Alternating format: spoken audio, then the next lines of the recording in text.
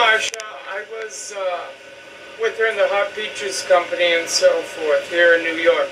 But one of the great moments of her life, I think, was uh, when she was arrested uh, for assaulting two police officers and prostitution, and she was put in uh, city court. Unfortunately, she got a woman judge, which was a kiss of death for a drag queen. And there must have been 10 to 20 of us in the courtroom who were there to try to get her bail and everything, if there was bail given. And uh, Marsha came out in a dress, short dress, but no wig. And this woman judge, you could tell, was intimidated. And uh, two police officers suddenly walked in. One had a sling on and rib bandages, and another one had a bandage on his head and a black eye. And the judge looks at the police and looks at Marsha. I mean, these were two big, beefy cops, New York cops, and said, "Officers, what happened?" And etc. I'm, I'm making this short. Anyway, the uh, judge said, "What happened?" The officers said, "Well, we were trying to apprehend this person prostituting on 43rd and 8th Avenue." And we were attacked by that person who was carrying two bricks in a very large handbag. All right, well, that was their side. Now, Marsha comes up, and the judge says, uh, You're listed as being on welfare and having extra money and food stamps and subsidized housing. Why were you prostituting out there? And Marsha said, uh, I needed to get a tombstone for my husband.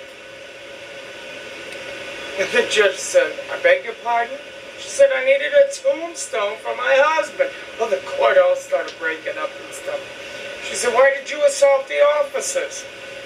She said, I didn't know. They didn't bring out no badge or nothing. She said, I just thought they were trying to rob my ducats, so I hit them, Your Honor. And the judge thinks for a while, the court's still laughing and she's banging her gavel.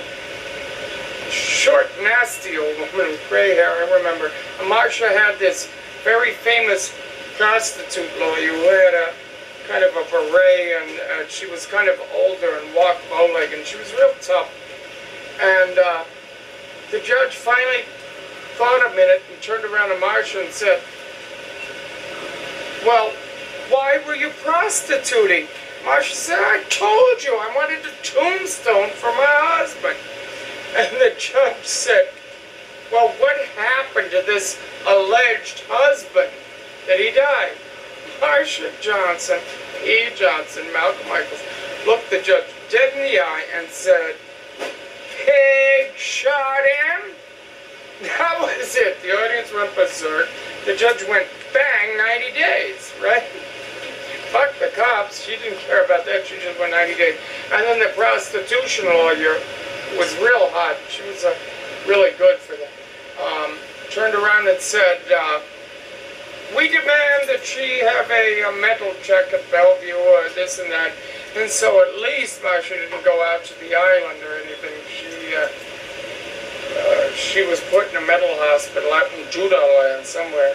And we finally went out and got custody of her, uh, meet Charley Shively, and trying to think some more Bostonians who happen to be in town uh, for a Herbert Huncke uh, poetry and Gore Vidal poetry. And uh, but Marsha, I knew her from the get-go when she lived on 14th Street near the, uh, what was that? Jesus, it was some kind of generator factory and.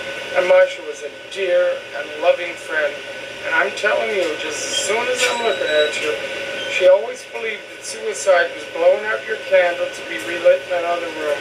And that girl would not do it in a million years. And trust me, she stayed in my home in Boston. I was in Hot Peaches with her, and I knew her a long, long time. But that court appearance was one of the greatest, most humorous, most loving, and most political moments faggots could face because she loved her husband. She didn't want that tombstone for him. And she wasn't afraid to look at that judge in the eye and say, pig shotting. simplify. Okay, what's your name? Oh, Leland, Lee Stone from Boston, Massachusetts.